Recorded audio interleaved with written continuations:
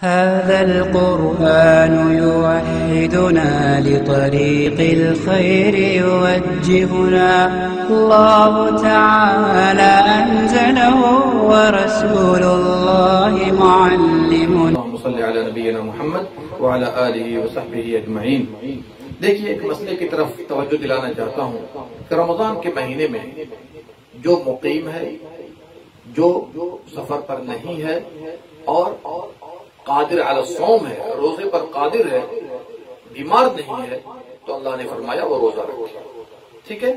लेकिन अल्लाह ताला ने उज्र वालों के लिए माजूरों के लिए गुंजाइश भी रखी है।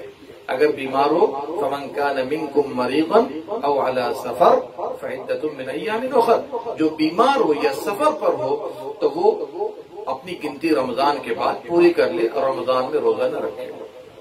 लेकिन सवाल पैदा होता है कि रमज़ान के महीने में बीमारी या मरज से क्या मुराद है? क्या खांसी हुई, रोजा नहीं रखें? क्या सर्दी हुई, जुकाम है, रोजा न रखें?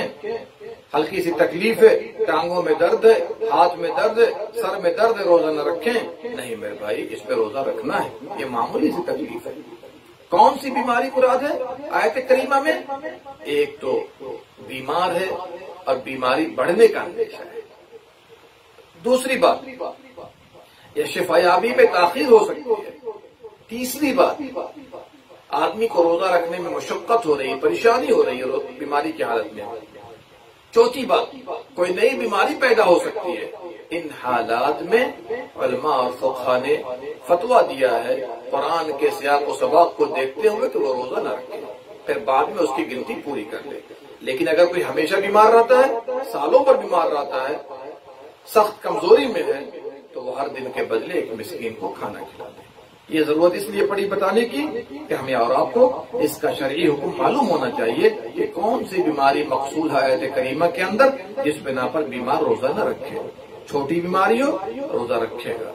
लेकिन अगर बड़ी बीमारी है, सख्त बीमारी है, जिसकी तफसीर हमने बताई है तो इस हालत में बंदा रोजा न रखे, रमज़ान के बाद उसकी गिनती पूरी कर ले। और अगर कोई सालों भर बीमार रहता है, कभी शिफायाब नहीं होता तो फिर ऐसे लोग हर दिन के बदले एक मिस्किन को खाना खिला दें। ठीक है ना? अल्लाह हम सबको कुरान सुन्नत पर अमल करने वाला बना दे। आमीन या रब्बल आलमीन। अल्लाहुम्मा सल्ली अला नबीना मुहम्मद व अला आलिहि व सहबिहि अजमईन।